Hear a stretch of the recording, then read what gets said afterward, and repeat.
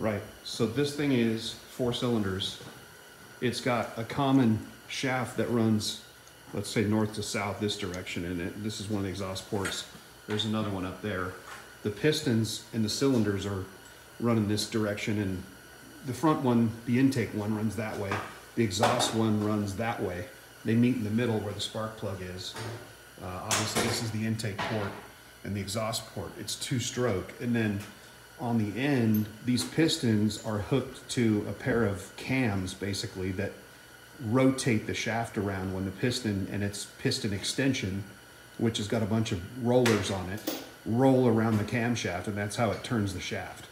So anyway, we've got uh, an ECU here in kind of a dyno harness, and then it's got a supercharger on it, which it will ultimately have turbos also, but for right now it's got a supercharger on it, and they've developed this two-speed control method with just using clutches and pulleys, so they can turn this clutch on and get one blower overdrive, and turn this clutch on and get a different blower overdrive.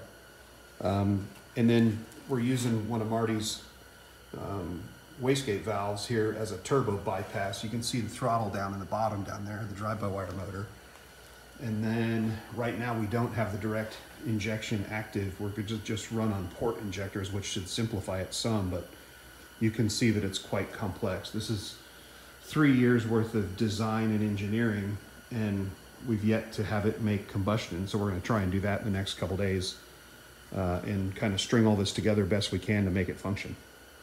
So that's that's what this is. This is a mock-up. It's going away tomorrow. It's got real parts coming for it tomorrow, so we can actually have boost. It was 60 minus two. We were just working out where TDC is, which was a little bit of a trick. You take the plug out and you can see the two pistons. Uh, they come together in the center like like this and make the combustion chamber, which lines up with the plug hole. So it's two stroke. One cylinder fires every 90 degrees. You got the one at the top is number one, and then this would be number four as the crank rotates this way around like a normal engine from the front or from the rear.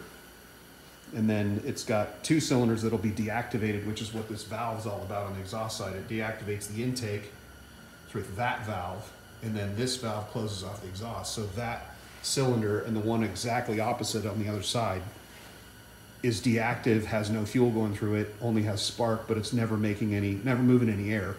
It's closed off on the intake and the exhaust side with the deactivation valves. And then the other cylinders are still, you know, have combustion going on. So that's what the two lambdas are about, one for each half of the motor. It's not really half, but I guess it is half. But the ECU thinks it's one bank and the other. That's how it's able to make it function correctly. Anyway, this is a, quite a mind fuck. I mean, I just spent two hours looking at the the design manuals to see how the inside of it works. And it's like it's like a piece of art, to be honest. So hopefully we can make it make some make some noise and make some heat, and uh, they can move to the next phase.